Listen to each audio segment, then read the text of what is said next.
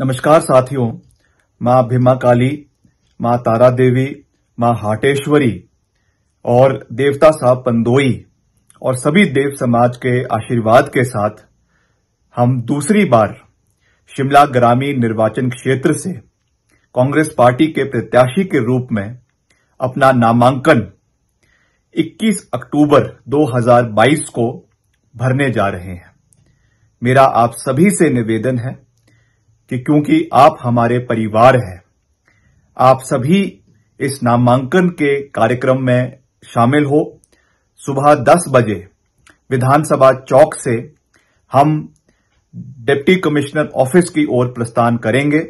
मेरा समस्त शिमला ग्रामीण के परिवार से और हिमाचल प्रदेश के समस्त जनता से निवेदन है कि आप अपने बेटे को, अपने भाई को अपना आशीर्वाद देने के लिए वहाँ पर उपस्थित रहे, क्योंकि ये लड़ाई केवल विक्रमादित्य सिंह की नहीं है।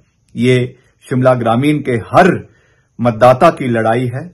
आगामी समय में हिमाचल प्रदेश में शिमला ग्रामीण को सर्वश्रेष्ठ बनाने की लड़ाई है।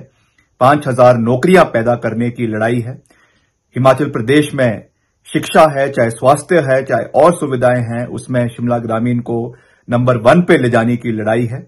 इसलिए मेरा आप सबसे ये विनम्र निवेदन है कि आप सबने अपना आशीर्वाद देने के लिए 21 अक्टूबर को सुबह 10 बजे विधानसभा चौक पर एकत्रित होना है और अपना भरपूर आशीर्वाद हमें अपनी विजय प्राप्ति के लिए कांग्रेस पार्टी को देना है। आप सबका बहुत बहुत धन्यवाद।